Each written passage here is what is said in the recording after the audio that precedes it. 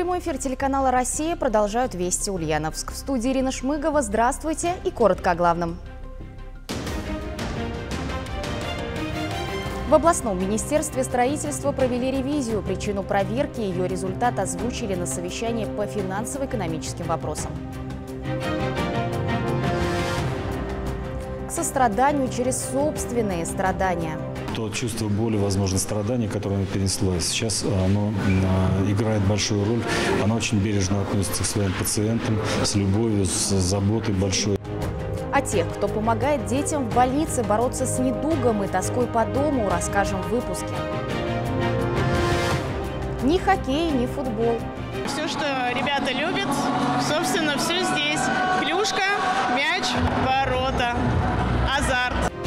Всероссийский детско-юношеский турнир по флорболу «Русская осень» стартовал в Ульяновске.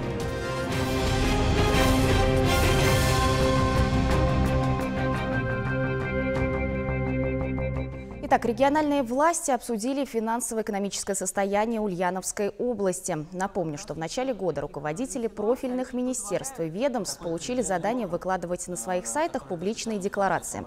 В них должны прописываться цели, задачи и главные количественные показатели. Ожидалось, что отчеты будут появляться в сети ежеквартально, но на деле полной прозрачности добиться не удалось.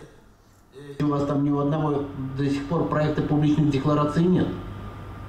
И нигде я не вижу, не слышу, в каком формате вы их обсуждаете.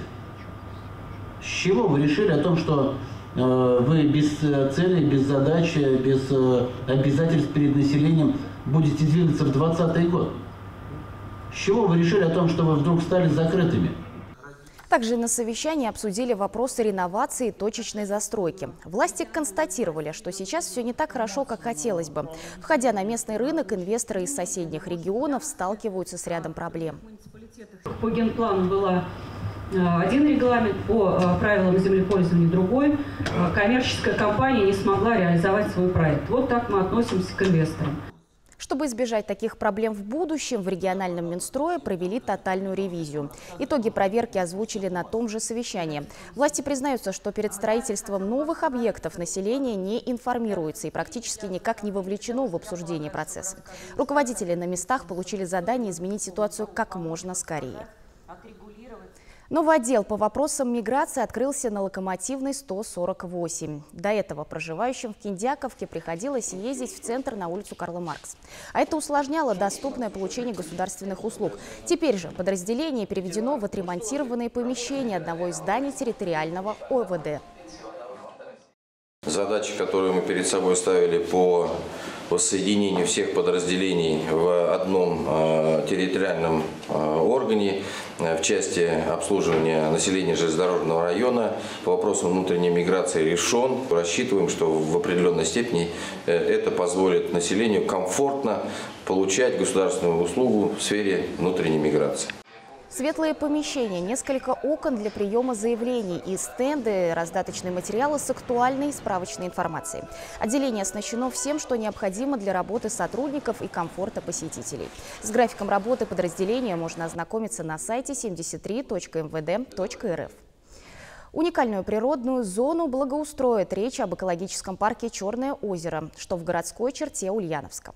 Здесь убирают аварийные и сухостойные деревья, а также сорные растения, влияющие на состояние природной территории. Площадь заповедника более 120 гектаров, проживает более 100 видов птиц и множество других представителей животного мира. Это не территория а памятника природы, это как раз а, территория, которая находится на границе. А, это уже городские земли, да, но именно оттуда наступает а, американский клен на саму территорию а, экологического парка Черное озеро. Поэтому на границе мы его э, должны максимально выпилить, э, проредить э, и в том числе убрать сухие аварийные деревья по самому берегу Черное озеро. В нынешнем году работы по приведению территории парка в порядок продлятся до тех пор, пока позволяют погодные условия.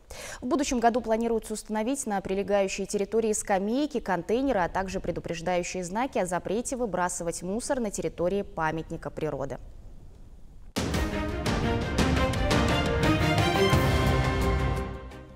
Излечилась сама, надо помочь другим. В Ульяновском хирургическом отделении областной детской клинической больницы 12 лет работает медсестра, которая много лет была пациенткой этого отделения. Елене Безруковой в раннем возрасте поставили страшный диагноз – хронический остеомиелит. Будучи подростком, Елена перенесла 6 операций. А теперь ее лечащие врачи стали коллегами. Конечном итоге, в общем-то, мы достигли успеха, победили эту болезнь. То чувство боли, возможно, страдания, которое она перенесла, сейчас оно а, играет большую роль. Она очень бережно относится к своим пациентам, с любовью, с заботой большой. В год через хирургическое отделение ОДКБ проходит чуть более двух тысяч детей. Больше половины из них оперируются. И каждому ребенку Елена может найти подход, подбодрить словом и помочь делом. А доктора и медсестры за время ее собственной болезни за 12 лет работы стали почти семьей. Пока находилась в этом отделении, то есть э, все стали родными, близкими, то есть появилось э, чувство э, милосердия, хотелось помогать в дальнейшем. То есть так получилось, что работаю сейчас в детском отделении именно с детками. Очень приятно смотреть, когда, значит, детки на твоих глазах выздоравливают и уходят домой. Всего с начала года в ОДКБ трудоустроилось 69 молодых специалистов. В отделении хирургии в этом году на работу приняты три медсестры и один медбрат. Напомним, задачи по повышению кадрового потенциала отрасли поставлены президентом Российской Федерации в национальном проекте здравоохранения. Всего же за прошлый год в Ульяновской области в отрасли здравоохранения трудоустроены 263 врача. Из них 102 – молодые специалисты. Вы смотрите программу «Вести Ульяновска». Мы продолжаем выпуск. Ульяновская область – первая в России. Речь об участии на региональном уровне в проекте профстажировки 2.0. Его суть в том, что студенты могут предложить свои проекты в различных сферах. В случае, если разработка будет признана успешной, студент может получить работу в крупной российской компании, федеральном ведомстве или в структуре исполнительной власти нашего региона. Правительством Ульяновской области было выложено больше 115 заявок. А, с каждым днем заявки у нас возрастают. А, сейчас от студентов у нас а, поступило больше 107 заявок. То есть я говорю на сегодняшний день заявки с разных регионов нашей страны. То есть ребята очень активно участвуют. Студент Ульяновского технического университета Альберт Закиров – один из тех, кто решил попробовать свои силы. Его проект связан с массовым применением энергосберегающих технологий для Фонда содействия реформированию ЖКХ. Людям будет это интересно тем, что они получат экономический эффект от инвестиций – также и экологически. Экология в том плане, что в домах, в жилых домах будут, будут часто использоваться, будут больше использоваться альтернативные источники энергии.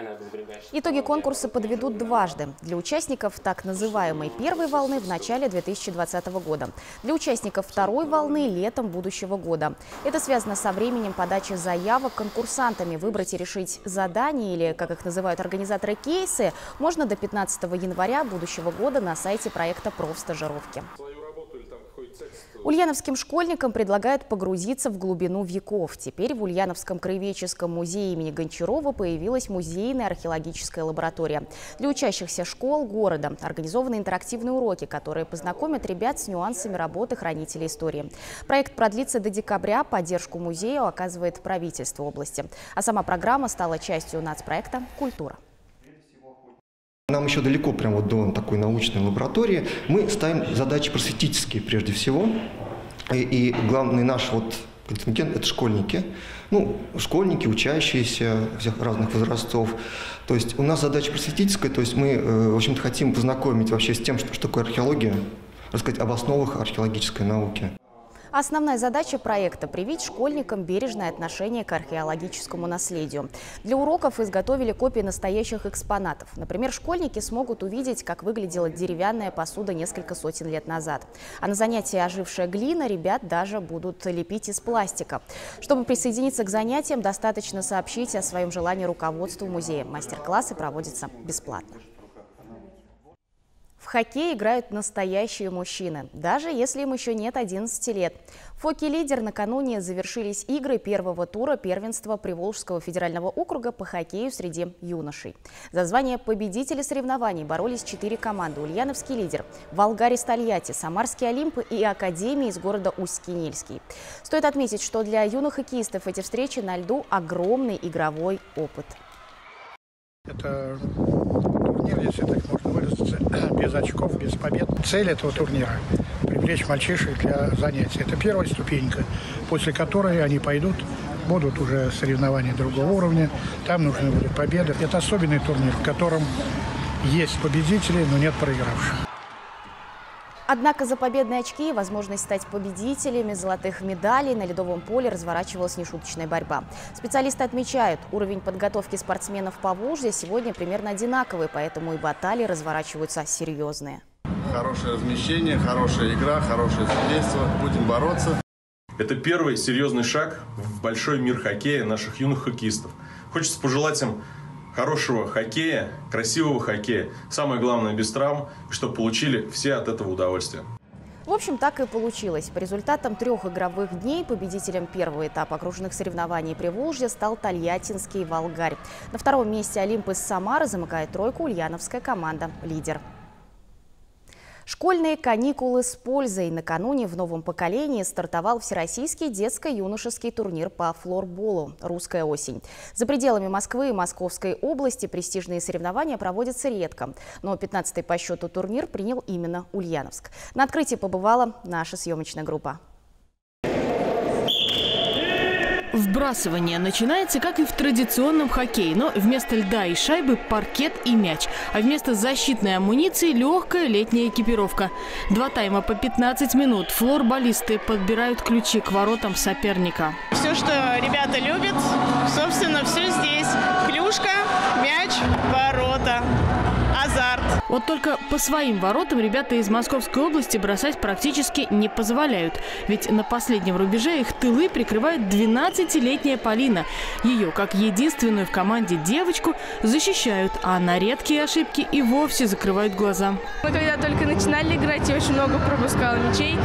Ну, потом я э, стала развиваться, стала ездить на сборы. И все для того, чтобы ворота были на замке. Ведь для одноклубников вратарь – половина команды и серьезная заявка на выход в плей-офф. Финальные игры будут 1 ноября. 4 дня полноценных, то есть с 9 утра до 9 вечера. И дети будут играть, стараться завоевать медали. Всероссийский турнир «Русская осень» не только самый массовый, но и самый престижный во флорбольном календаре. За четыре соревновательных дня на паркет выйдут свыше тысячи спортсменов, каждый из которых в купе с хорошим настроением мечтает привести в родной регион награды самой высокой пробы. Ксения Грищенко, Павел Игнатьев, Денис Миронов. Вести Ульяновск. И на этом наш выпуск завершен. Я благодарю вас за внимание. Далее авторская программа Бориса Корчевникова «Судьба человека». До встречи! Управление Федеральной службы исполнения наказаний по Ульяновской области осуществляет отбор кандидатов на поступление в ведомственные вузы ФСИН России. На период обучения курсанта находится на полном государственном обеспечении. Срок обучения 5 лет. После окончания вуза выпускнику присваивается специальное звание лейтенант внутренней службы. Официальное устройство гарантировано. Дополнительная информация по адресу город Ульяновск, улица 12 сентября 95, контактные телефоны 42 81 38, 42 81 30 33 и 42 81 34. Заявления принимаются до 1 марта. Сейчас в Ульяновске 2 градуса тепла. Атмосферное давление 747 миллиметров ртутного столба. Относительная влажность воздуха 72%. Ветер юго-восточный 3 метра в секунду.